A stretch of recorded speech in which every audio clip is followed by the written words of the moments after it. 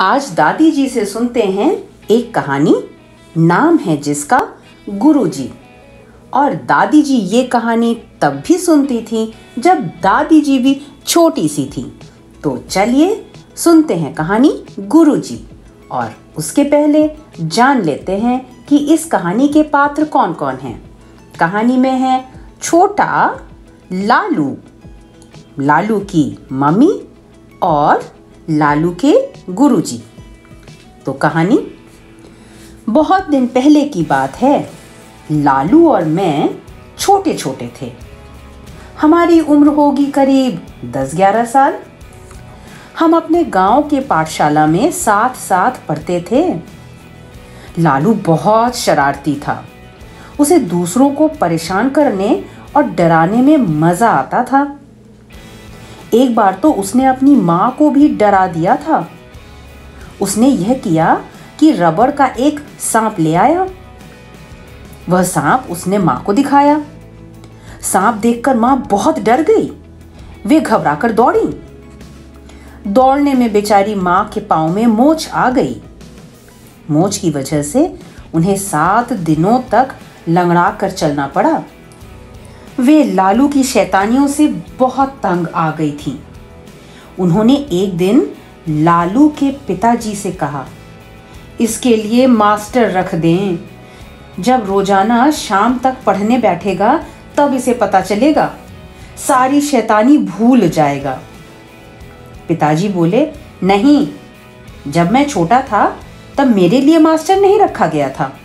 मैं तो अपने आप पढ़ा, खूब मेहनत की, पढ़ लिख कर आज वकील हूँ। मेरी इच्छा है कि लालू भी अपने आप खूब पढ़े लिखे अच्छा आदमी बने। हाँ इतना कर सकता हूँ कि जिस साल वह अपनी कक्षा में प्रथम नहीं आएगा, उस साल हम उसके लिए घर पर पढ़ाने वाला मास्टर रख देंगे। सुनकर लालू ने चैन की सांस ली, लेकिन उसे माँ पर बहुत गुस्सा आया। लालू मास्टर को पुलिस जैसा मानता था। वो बात बात पर पिटाई करता है जो मनमर्जी नहीं करने देता। लालू के पिता अमीर थे। कुछ साल पहले उन्होंने अपना नया मकान बनवाया था। मकान सुंदर था। तीन मंजिलों का था। लालू की माँ चाहती थी कि इस नए मकान में गुरुजी भोजन करें। जूठन गिराकर उन्हें आशीष दें। लेकिन वे बूढ़े थे। वे फरीदपुर में रहते थे। फरीदपुर काफ़ी दूर था। इसलिए वे आने के लिए तैयार नहीं होते थे। आखिर बहुत दिनों के बाद ऐसा अवसर आ ही गया। गुरुदेव सूर्य ग्रहण के पर्व पर काशी आए थे। उन्होंने लालू की माँ नंद रानी को लिखा कि वे जब काशी से लौटेंगे, तब उनके घर ज़रूर आएँगे। नंद रानी बहुत खुश हुई। वे गुरुजी के स्वागत की तैयारी ज़ोर शोर से करने लगी। उनकी मनोकामना जो पूरी होने जा रही थी। वे सोच रही थी, इस नए मकान में गुरुजी पधारेंगे तो घर पवित्र हो जाएगा। नंद रानी ने तैयारी शुरू कर दी। नीचे के बड़े कमरे का सारा सामान हटाया गया। गुरुजी के लिए निवाड़ का पलंग लगवाया गया। गुरुजी को तिमंजले पर बने पूजा घर तक आने जाने में परेशानी होती, इसलिए पूजा की जगह भी नीचे के कमरे में बना दी गई। कुछ दिनों बाद गुरुदेव आ गए। उनके आने का समय ठीक नहीं था। क्यों? क्योंकि मौसम खराब था। आसमान में घने बादल छाए हुए थे। बाहर मूसलाधार बारिश होने लगी थी। तेज हवा बह रही थी। इधर लालू की माँ काम में जुटी हुई थी। वे तरह तरह के पकवान बना रही थी फल फूल सजा रही थी। उन्हें अपने काम से फुर्सत नहीं मिल रही थी। बहुत काम थे। गुरुदेव के लिए पलंग पर बिस्तर बिछा दिया गया। मसहरी लगा दी गई। खाना खाने के बाद गुरुदेव बिस्तर पर जाकर लेट गए। बिस्तर मुलायम और आरामदायक था। उन्हें आनंद आ गया। उन्होंने मन ही मन नंद रानी को आशीष दिया। वे थके हुए थे, इसलिए जल्दी सो गए। नौकर चाकर भी काम निपटा कर चले गए। आधी रात को अचानक गुरुजी की नींद खुल गई। उन्हें लगा छत से पानी टपक रहा है और पानी उनकी तोंद पर गिर रहा था। अरे बाप रे, कितना ठंडा पानी है, वे चौंक कर उठ बैठे। उन्होंने तोंद पर गिरे पानी को पोछ डाला। मन ही मन बोल उठे नंद रानी ने मकान तो नया बनवाया है, लेकिन लगता है कड़ी धूप की वजह से छत फट गई है। पलंग निवाड़ का था, इसलिए भारी नहीं था। गुरुदेव उसे मसहरी समेत खींचकर दूसरी ओर ले गए और फिर सो गए। अभी कुछ ही पल बीते थे कि पानी की बूंदें फिर आ गिरी। वे पलंग को फिर दूसरी ओर ले गए। लेकिन फिर वही पहले की तरह पानी गिरा। अब तक तो बिस्तर भी काफ़ी भीग चुका था। वह इतना भीग गया था कि सोने लायक ही नहीं था। गुरुदेव सोचने लगे, अब क्या किया जाए? बूढ़े आदमी थे, अनजान जगह थी, इसलिए दरवाज़ा खोलकर बाहर आने में डर था। भीतर रहना भी खतरे से खाली नहीं था। पता नहीं छत कब सिर पर आ गिरे। डरते डरते उन्होंने दरवाज़ा खोला और बाहर निकल आए। बाहर बरामदे में रोशनी कम थी। एक लालटेन जल रही थी। दूर तक अंधेरा था और पानी ज़ोर से बरस रहा था। तेज हवा थी। इसलिए वहाँ खड़े रहना कठिन था। आसपास कोई दिखाई भी नहीं दे रहा था। घर के नौकर चाकर पता नहीं किस कमरे में सोते हैं। गुरुजी को इस बात का पता नहीं था। उन्होंने दो तीन बार आवाज़ भी दी, लेकिन कहीं से कोई जवाब नहीं आया। एक और एक बेंच पड़ी थी। इस बेंच पर लालू के पिता के मुवक्किल बैठते थे। अब मरता क्या ना करता, लाचारी थी। गुरुदेव उसी बेंच पर बैठ गए। उन्हें मन ही मन लगा कि इस पर बैठने से उनका अपमान होगा। लेकिन कोई और उपाय नहीं था। सर्दी भी लग रही थी। गुरुदेव ने धोती का एक हिस्सा खोला और सिर पर डाल लिया। दोनों पैर सटा लिए और उकड़ू बैठ गए। इस तरह बैठकर आराम पाने की कोशिश करने लगे। मन बहुत दुखी हो गया। इधर नींद से आँखें बंद हुई जा रही थीं। उन्होंने जो भोजन किया था, बड़ा स्वादिष्ट था। इसलिए कई बार खट्टी डकारें भी आईं। उन्हें कई तरह की चिंताएँ सताने लगी। ठीक उसी समय एक नई परेशानी शुरू हो गई। बड़े बड़े मच्छर कानों के आसपास गुनगुनाने लगे। वे परेशान हो गए। बाप रे, इतने सारे मच्छर! वो भी बड़े बड़े इनके काटने से तो बड़ी तीखी जलन होती है। इस मच्छर सेना से कोई बहादुर नहीं लड़ सकता। गुरुदेव ने उस स्थान को तुरंत छोड़ देने में ही भलाई समझी। वे वहाँ से कुछ दूर हट गए। लेकिन मच्छर कहाँ मानने वाले थे? उन्होंने वहाँ भी गुरुदेव का पीछा नहीं छोड़ा। जैसे कमरे में पानी तंग कर रहा था, वैसे ही बाहर मच्छर परेशान कर रहे थे। आगे कुआँ, पीछे खाई जैसी बात थी। वे मच्छरों को भगाने के लिए अंगोछा फटकारते रहे। लेकिन उनके हमले को रोक नहीं पाए। परेशान होकर वे इधर उधर दौड़ने लगे। सर्दी थी, फिर भी वो पसीने से नहा गए। एक बार तो उनके मन में आया कि ज़ोर से चीख उठें। लेकिन यह सोचकर चुप हो गए कि ऐसा करना बचपना होगा।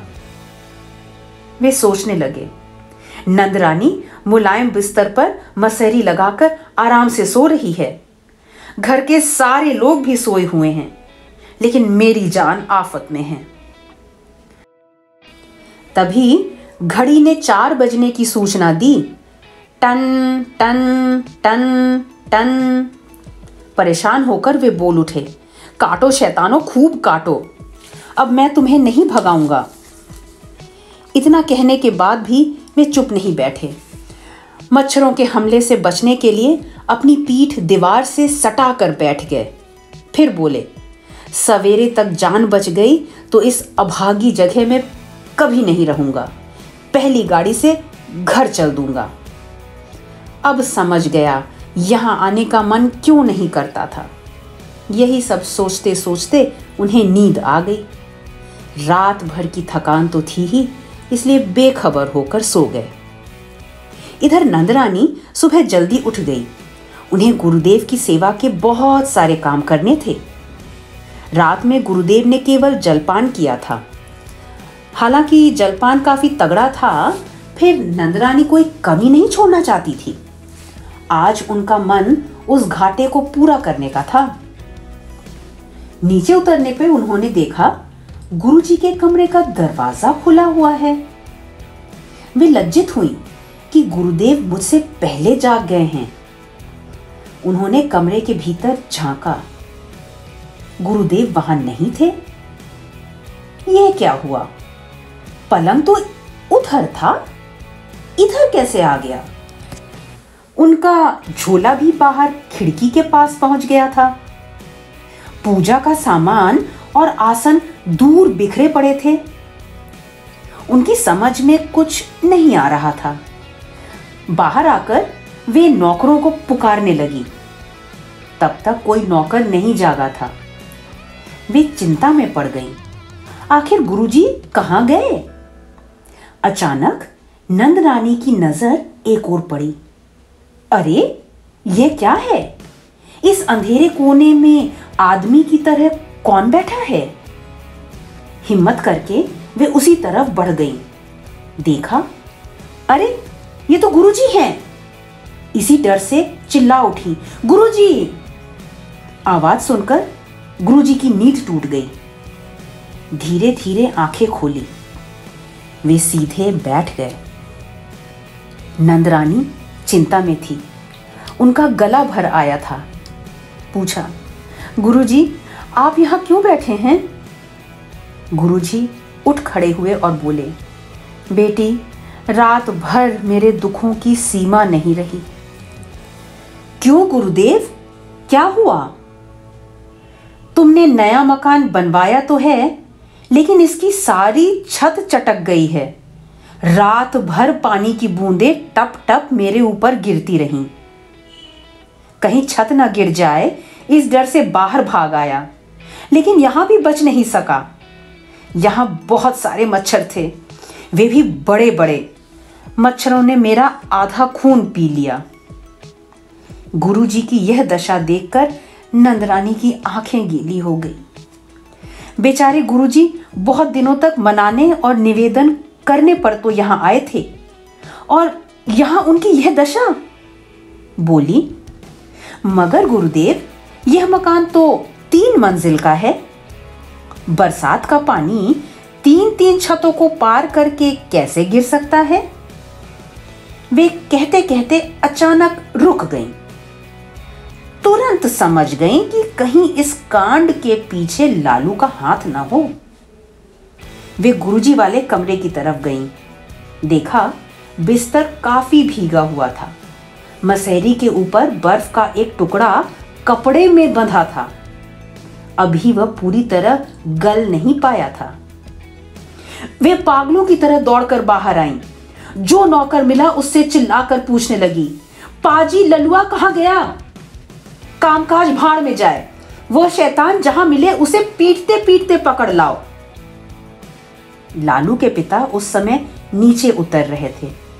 लालू की माँ का चीखना चिल्लाना देखकर वे हैरान रह गए। उन्होंने पूछा, आखिर हुआ क्या? ये क्या कह रही हो? नंदरानी ने रोते हुए कहा या तो ललुआ को घर से निकाल दो, नहीं तो मैं गंगा में डूब जाऊँगी। मगर किया क्या है उसने? गुरुदेव की कैसी दशा बना दी है उसने? आओ आकर अपनी आँखों से देख लो। सभी लोग अंदर आ गए। नंदरानी ने सब दिखाया और सुनाया। फिर पति से बोली, अब तुम ही बताओ कि इस शैतान लड़के को लेकर कोई इस घर में कैसे रह सकता है? गुरुदेव की समझ में सारी बात आ गई।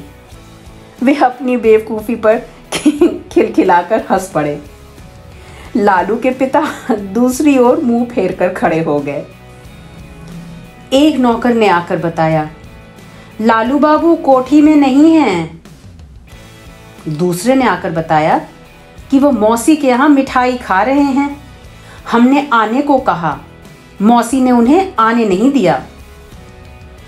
लालू की मौसी नंदरानी की छोटी बहन थी। उसके पति भी वकील थे।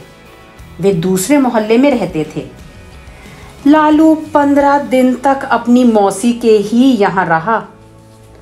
उसने अपने घर में कदम तक नहीं रखा। आखिर माँ से पिटने का जो डर था। तो पसंद आई ना कहानी? शरद चंद्र चट्टोपाध्याय जी की लिखी गुरुजी।